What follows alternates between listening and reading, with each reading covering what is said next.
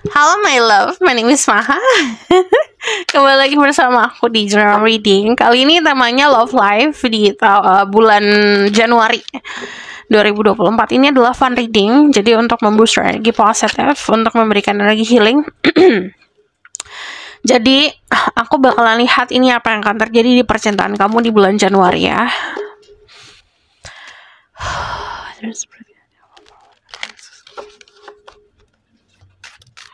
Untuk disclaimer lainnya kamu tinggal cek di bawah, oke? Okay?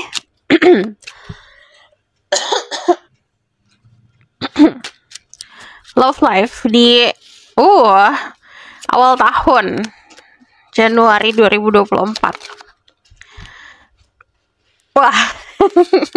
wow. Kalau aku lihat ini sesuatu yang mengejutkan terjadi. Jadi secara tiba-tiba there's someone appear in your life. Jadi uh, secara tiba-tiba ada orang yang hadir dalam hidupmu. Um, bukan cuma satu sih kalau aku lihat. Jadi ada beberapa you can kamu bisa punya pilihan. Karena ada beberapa orang yang hadir. Cukup bisa dibilang uh, memberikan kamu sesuatu lah. Memberikan kamu feeling atau memberikan kamu getaran-getaran cinta. Di sini ada attraction ada ketertarikan uh, sama seseorang. Kalau aku lihat dari energi The Tower sendiri ini merubah uh, perspektif, merubah ego, meruntuhkan ego. ini meruntuhkan apa yang kamu biasa lakukan dan percayai gitu. Kalau energi The Tower, kalau aku lihat ini bukan sesuatu yang negatif ya. Aku ngeliatnya soalnya dari energi vibrasinya ini very positive, sangat positif.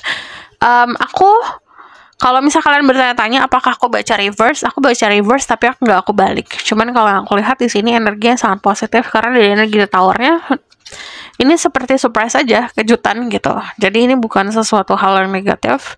Um, the Tower ini nunjukin kalau misalnya kayak ada sesuatu yang datangnya kayak geledek, kayak petir, duar, tiba-tiba kan. Dan ini um, kalau petir itu kayak ada cahayanya. Jadi pasti kita bisa ngelihat itu. Perubahan drastis terjadinya tiba-tiba dan kita bisa ngelihat. Jadi ada orang yang benar-benar secara physically ini hadir. The Ace of Coins itu nunjukin sesuatu yang baru, tapi bentuknya kita bisa ngelihat dan bisa pegang itu gitu. Jadi bentuknya kayak orang yang memang hadir dalam hidup kamu. No journey about percintaan atau awal oh, awal baru soal percintaan itu tergantung dari kita sendiri. Kita mau mulai atau enggak. Karena kalau dikasih kalau kamu nanya apakah jalannya dikasih untuk punya hubungan baru dikasih. Tapi tergantung. Kamu mau apa enggak karena sampingnya ada the lovers. Lovers itu choices yang tadi aku bilang. Kemungkinan bukan cuma satu orang yang hadir dalam hidup kamu jadi kamu bisa memilih. Tapi yang namanya the lovers is always going to be choices pilihan kita memilih yang tadi aku bilang mau maju atau enggak, mau jalan atau enggak, gitu, kanan atau kiri. Karena setiap pilihan pasti ada konsekuensinya dan kamu harus bisa mikir dengan bijak. The lovers di sini juga menggambarkan pertemuan dengan seseorang yang mungkin dari segi apa-apa beda ya sama dirimu. dari segi uh, pemahaman, dari segi prinsipal, dari segi fisik, uh, udah pasti beda. Cuman dari segi uh, sifat, sikap gitu beda banget. Contoh misalnya kamu sosok orang yang pendiam, pendiam, berarti dia orang yang suka banyak ngomong atau sebaliknya kamu suka banyak ngomong dia orang yang pendiam.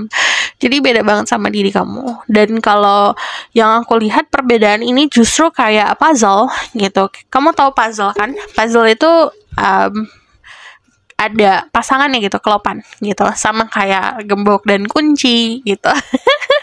kanan dan kiri. Jadi ini kayak berpasangan sebenarnya energinya.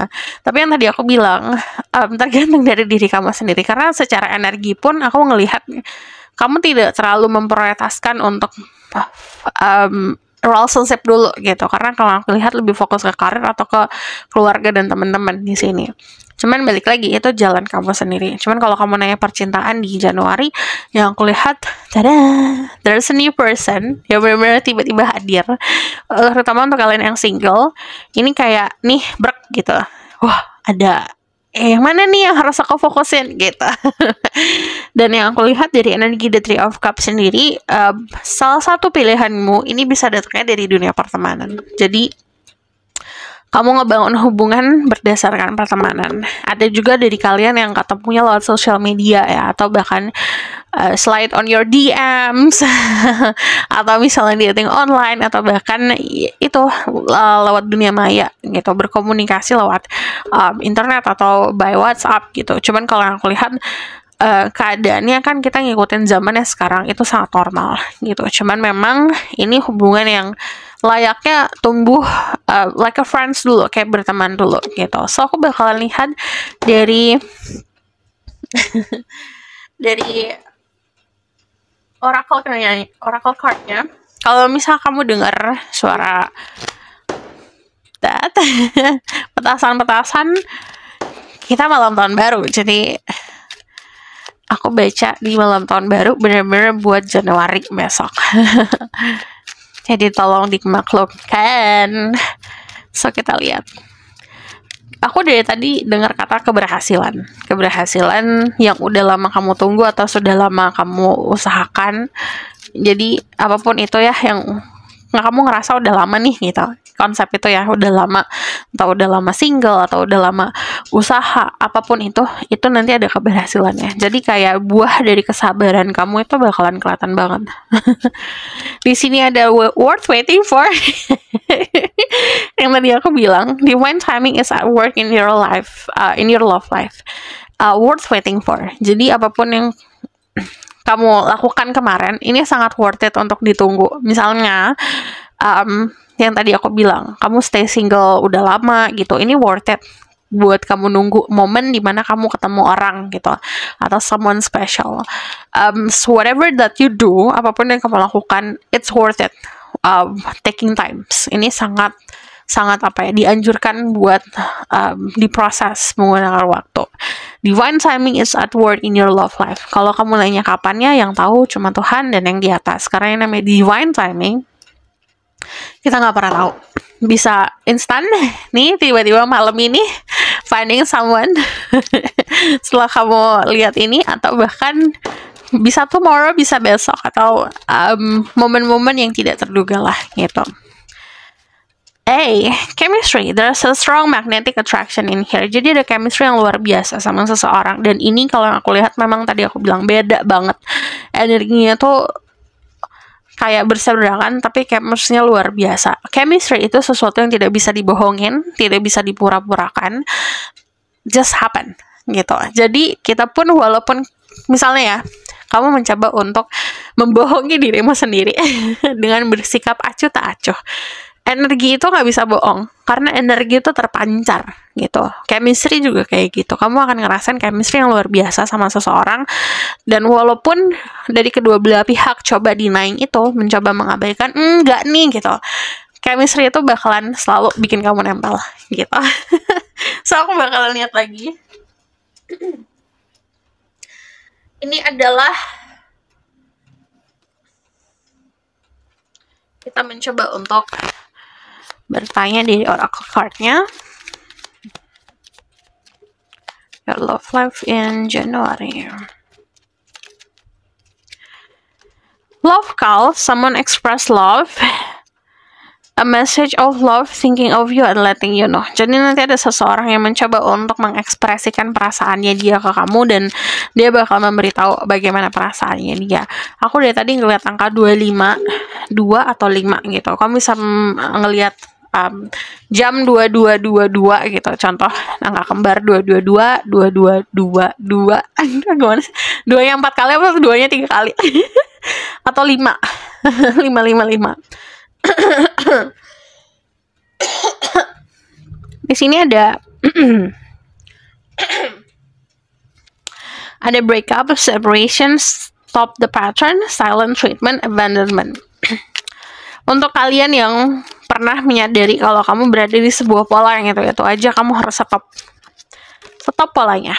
The grim reaper uh, the relationship is over. No second chances. Grow and transform your life. Untuk kalian yang uh, ketemu sama mantan atau bahkan kayak masih mikirin mantan atau seseorang di masa lalu stop. Apa pun itu yang menyakiti kamu di masa lalu stop Codependent obsession, possession, controlling, has block, and restraint. ini kalau aku ngeliat ini sebagai isu-isu ya. yang harus kamu realize. Pertama, cara kamu berkomunikasi jujur.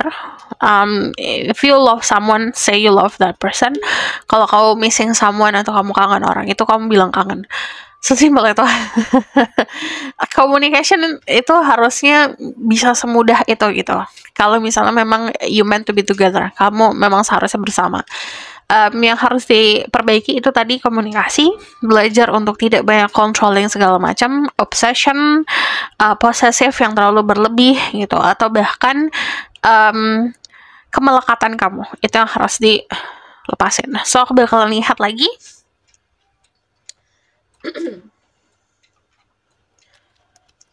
Ini kita validate what will happen at the end of the month. Ya apa yang akan terjadi di akhir bulan Januari? Five of Cups. Yang bikin kamu bingung nanti opsi soalnya kalau aku lihat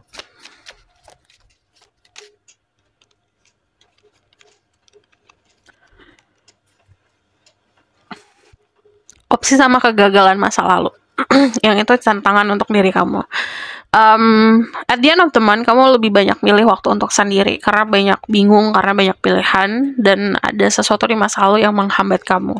Kalau kamu nanya apa yang menghambat, biasanya mikirin soal masa lalu, kenangan-kenangan, rasa rasa bersalah, rasa kecewa gitu. Pokoknya fokusnya ke masa lalu. Ini kayak gambar gini nih, gitu. Ibaratkan ini dirimu, kamu fokus sama sesuatu yang udah kebalik di sini udah gak ada isinya, gitu Sementara di sini ada sesuatu yang lebih bercahaya, ada isinya, tapi kamu nggak melihat ini. Jadi karena kita terlalu terfokus sama hal-hal yang pernah menyakiti dirimu, gitu, hal-hal yang pernah menyakitkan lah di masa lalu atau kekecewaan di masa lalu, atau orang, sesuatu, apa pun itu uh, perasaan terlalu fokus ke situ, akhirnya nggak bisa nerima apa pun yang uh, dikasih untuk sekarang ini gitu. Jadi belajar untuk membalikan badan kamu, melepaskan apa yang harus dilepaskan. Yang tadi aku bilang, release, lepasin. Lalu di sini di akhir bulan karena banyak pilihan, ini banyak um, membuang waktu atau menghabiskan waktu buat uh, menghayal jatuhnya. Terjebak sama khayalan. Tapi banyak ngabisin waktu sendiri untuk banyak mikir. Tapi terlalu banyak mikir tidak ada actionnya sama saja. Kamu bakalan jadi orang yang lebih pasti lagi memang tapi jangan galak-galak sarana. Belajar untuk um, if you want love kamu harus bagi cinta gitu. Kalau kamu mau cinta ya harus tunjukin kalau kamu punya banyak cinta. Jangan jangan penuh dengan defensiveness, jangan penuh dengan um, beda ya. Orang kalau orang yang siap buat um, punya hubungan cinta, pasti dia akan happy energinya, positif dan penuh dengan cinta. Tapi kalau belum siap, pasti energinya sangat defensif dan kayak pengen berantem gitu. Jadi kamu harus bedain itu. so aku bakal lihat pesannya.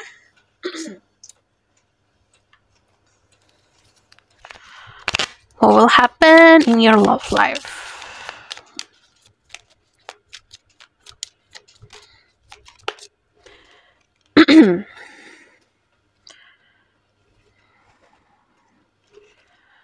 ada the snake. Kalau aku lihat di sini gini. Ya ampun. Belajar untuk tidak terlalu banyak umbar-umbar tentang sesuatu hal yang belum terjadi. Jadi uh, don't oversharing lah istilahnya gitu.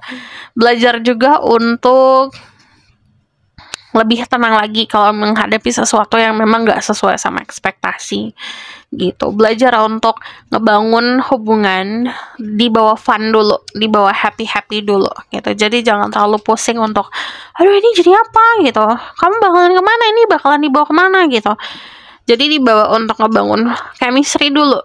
Kayak anak kecil ketemu sama sepantarannya kita kayak bermain dulu berteman dulu. Jadi being friendly itu bukan berarti kamu orang yang lemah. Being friendly itu adalah um, apa ya bisa dibilang um, perilaku human yang dasar banget perilaku manusia yang sangat dasar. Bare minimum banget being friendly. Jadi yang tadi aku bilang ketemu orang baru kalau ada bedanya kalau misalnya ada sesuatu um, hal yang mungkin yang tadi aku bilang tidak sesuai sama ekspektasi kamu jangan langsung galak-galak kayak menolak itu.